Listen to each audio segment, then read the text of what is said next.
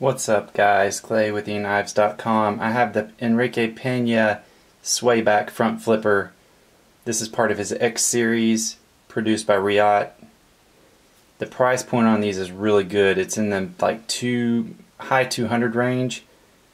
This is the uh, jig titanium version right here. These are all super smooth. I'm working on my front flipping skills.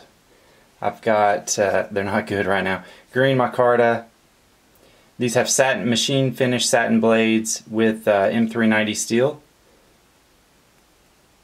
Pretty standard on Enrique's knives. This is the brown micarta.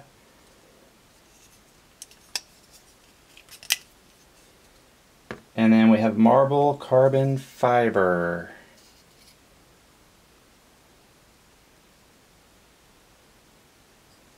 So all these are uh, going to be available. I'll, i only have a few of each, guys. They spread them out to a lot of dealers, so um, you'll have to act quick because these are going, going to go real fast. So eknives.com.